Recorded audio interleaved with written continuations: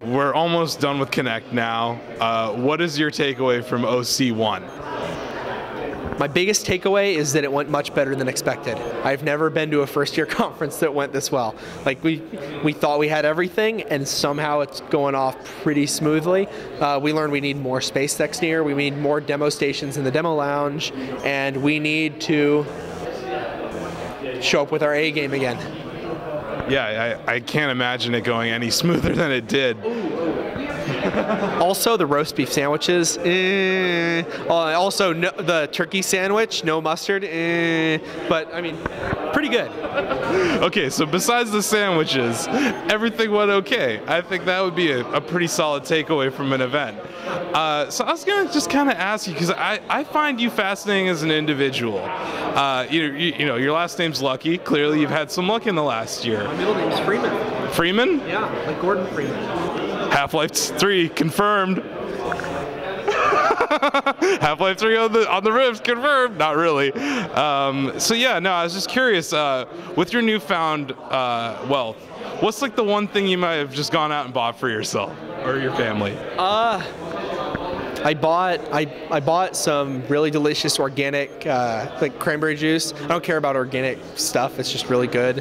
Uh, I also bought WinRAR because you know it, it tells you to buy it. You know what I'm talking about? You unzip stuff, and it's like, please buy it. This is a trial. And so I was like, you know what? I can afford it. I'm going to purchase it. And so I went through and I felt really good about myself. Cool. So no rocket cars or gold toilets yet. no, no, I'm too busy. I'm too, too busy. busy. I'm too busy. Rocket toilets, maybe. Rocket toilets made out of gold. There we go. There we go. And you know what? We could do that on the Rift because you're still sitting. Any, anyone can send me suggestions for what I should be doing with, with my money. Excellent. Well, let's pivot back to Oculus. Um, I'm curious uh, what you would have to say about, you know, one thing I noticed at today's event was the lack of mention uh, really concretely about human interface device uh, for VR. And I was just curious, you know, even if you can't say what you're doing, you could just tell our viewers that you are doing something uh, with respects to human interface, and there might be a proprietary solution from Oculus. We are doing something with input, but we don't we don't like to announce things if we're until we're 100% sure that it's the right thing to do and the best way to do it. Uh, I mean, we we'll share our progress in a lot of ways, but it especially with something like input that's such a drastic game changer it would be more damaging to share it with developers and tell them to target it. Be like hey we think this is the right input solution. You should target this. Then it turns out we're wrong.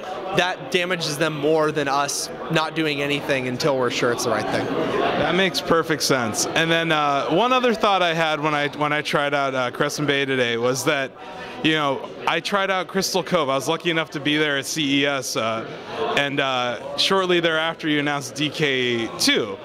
I'm wondering, will there be a DK3? Is that even something you're thinking about? We're not doing a DK3. Um, we we do a lot of feature prototypes internally. We talked about this when we showed Crystal Cove, but Crystal Cove was um, was basically a feature prototype. It had some of our latest features integrated into it to test them.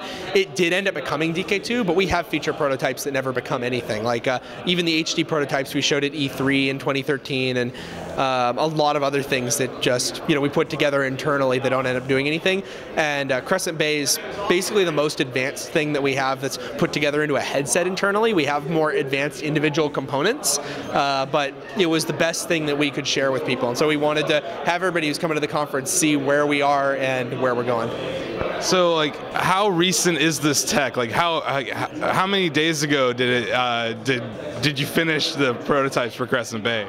Um, I mean, the prototypes themselves were finished like mere days before, so really coming in hot. Uh, but a lot of the technology inside is a couple months old at this point. Because oh, I, I, heard Brendan broke a couple last night when he was trying them on. Yeah, we try not to do that. Uh, so yeah, you know, uh, another thing I think is going to be really important for you is uh, software.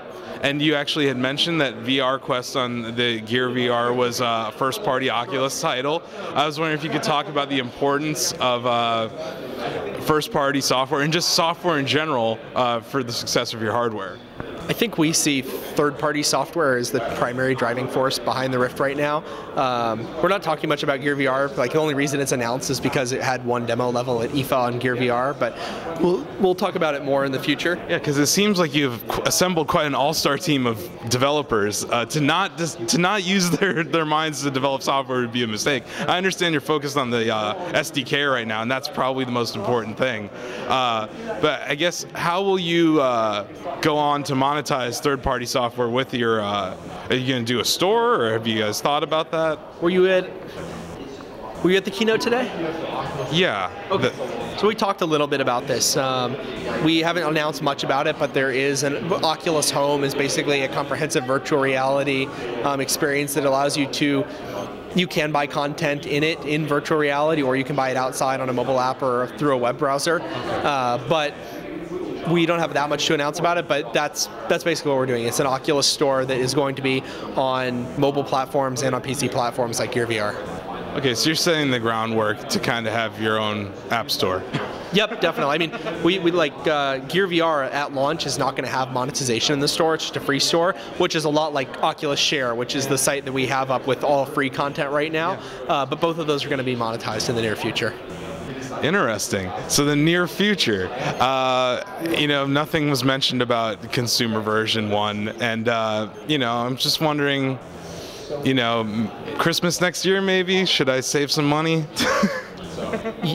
I know you have to ask, and you know what I have to say. Yeah. We don't have anything to announce at this time. I'm sorry. no, It- it- I mean, it- you know, this company's been around for barely over two years. We're moving as fast as we can. And Crescent Bay, I mean, look at like from DK1 to DK2 to Crescent Bay, or even just DK1 and DK2, we've shipped both of those in two years. That's a one product a year refresh cycle. You can't really go much faster than that. And I'd say Crescent Bay is, it's enough of a leap to basically be a full another, you know, jump in quality. So we're, we're, we're moving really fast. no, I agree completely, and I, I think the Facebook acquisitions probably put you guys on steroids. It's helped us a lot. Without Facebook's resources, Crescent Bay would have taken a lot longer. Cool. Well, uh, I, I guess I just have one other thing to ask you. You know, we have a community, a lot of developers on our on our website on Shacknews. Uh, a lot of people there, you know, are using your DK2s right now. Um, what's the one bit of advice you could give uh, a developer that's either on your platform or just in general about making a good product? making a good product. Have other people judge it. Don't judge it yourself, and don't have people that are invested in what you're invested in. And I don't even mean financially, I mean emotionally. We all believe in virtual reality at Oculus. All these developers here believe in virtual reality. So they're going to be very forgiving when it comes to virtual reality experiences and software and products in general. You should really try to think from the perspective of a non virtual reality super geek. You know, sh- show it to normal people, get their feedback on it, and a lot of people will say, "Eh, you know, whatever. It's just not that interesting to me."